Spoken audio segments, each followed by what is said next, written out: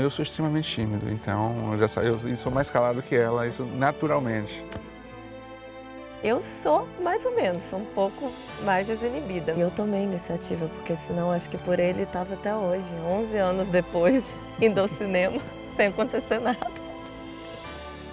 Eu era a grávida mais desencanada do mundo, eu não percebia nada. Eu pensava, nossa, eu tenho que entrar em trabalho de parto porque eu não vou perceber que o neném está nascendo.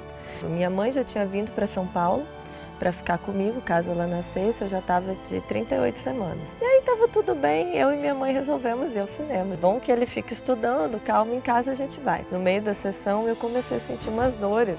As dores foram aumentando, eu achando estranho, comentei com a minha mãe também, mas ela não sentiu nada quando me teve, então para ela era normal. Cheguei em casa às 7 da noite, 7h20 a bolsa rompeu. Se fosse um filme mais demorado, ela tinha nascido no cinema. Eu quase nasci no cinema. O Kinoplex fez parte da história da nossa família e a gente nem precisou de muito esforço para passar isso para ela. Desde a primeira vez que ela veio ao cinema, ela se encantou e agora ela quer sempre.